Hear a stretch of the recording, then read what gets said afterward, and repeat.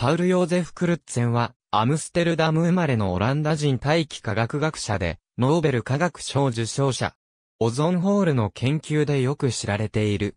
彼の研究の成果は、 Stratospheric Tropospheric Chemistry、Their Role in the Biogeochemical、Cycles Climate にまとめられている。現在は、ドイツのマインツにあるマックス・プランク科学研究所と、カリフォルニア大学サンディエゴ校のスクリップス海洋研究所に席を置いている。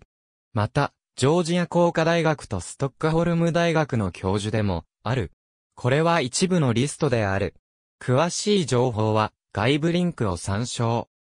2000年の IGBP の解放41号で、パウルとユージーン・ストーマーは、地質学、生態学における人類の重要性を強調し、近年の地質学的な時代を表す言葉として、アントロポセンという造語を提案した。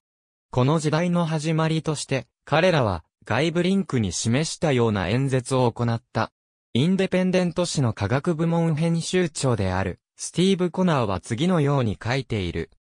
The Nobel Prize in Chemistry 1995ハット http www.independent.co UK Environment Scientist Publishes Escape Route from Global Warming 40981 HTML Scientist Publishes Escape Route from Global Warming Independent by Steve Connor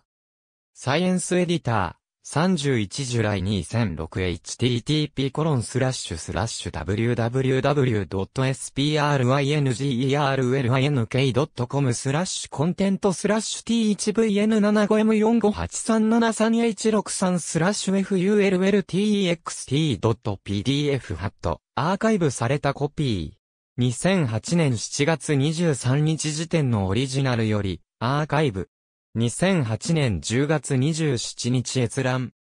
Biofuels Could Boost Global Warming、Finds Study Chemistry World、21、September 2007ハット http コロンスラッシュスラッシュ www.atmos-chem-phys.net スラッシュ8スラッシュ389スラッシュ2008スラッシュ acp ダッシュ8ダッシュ389ダッシュ